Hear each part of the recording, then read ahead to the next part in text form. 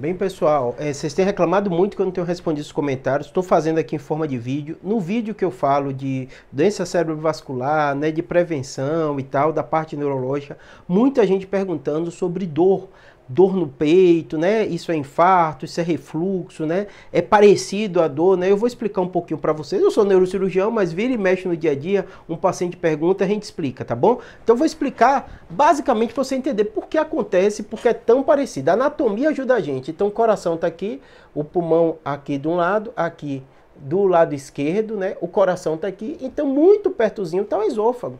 E o refluxo, muitas vezes, né, uma das causas mais comuns a gente ter é ter uma falha nessa válvula que fecha dessa comunicação do estômago com o esôfago e o ácido né, que a gente produz para digerir os alimentos acaba voltando.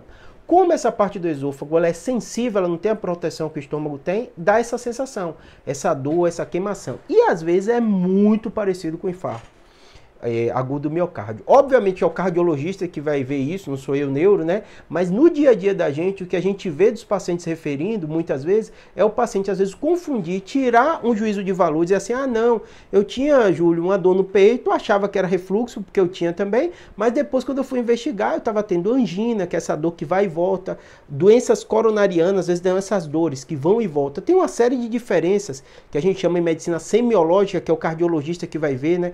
Quando vem essa dor, né? Essa dor muitas vezes é depois de uma grande refeição, o paciente tem refluxo, então ele deita, ele, o alimento acaba voltando, ele sente esse incômodo, né? No caso da dor do infarto, às vezes vem com com náusea também, né? Mas às vezes é uma dor que irradia para o braço, irradia aqui para o pescoço. Então tem características semiológicas que elas são diferentes, né? Mas obviamente quem está me perguntando isso aqui são pessoas, né, que não são profissionais da área de saúde e não tem obrigação de diferenciar o que é um ou outro. Então você, se tem uma dor aguda, você tem que procurar o um médico. Se isso está te incomodando, se isso vai e volta, se isso volta muitas vezes. O clínico geral é um bom profissional para fazer isso e o cardiologista também. Muitas vezes ele sabe diferenciar isso melhor. Ah, Júlio, eu já tenho uma doença de refluxo e tal, já sei, procura o seu gastro para ele dar uma avaliada nisso, né?